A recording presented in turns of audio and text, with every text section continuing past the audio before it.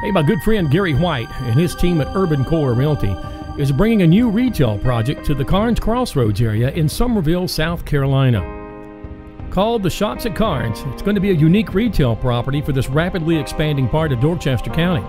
You see, a lot of good things are happening in this area, and this building is going to be the cornerstone of the neighborhood. Now, as you can see, the site work is well underway, and with weather permitting, we should be cutting grand opening ribbons in the fall of this year. I am excited.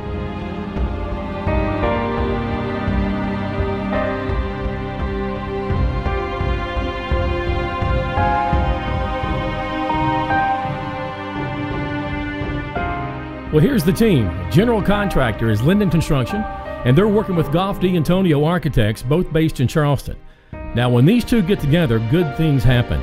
Sky Eye Images is proud to be capturing this project from beginning to end.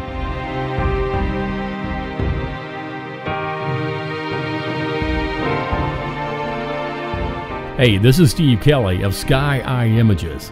Fly well, my friends.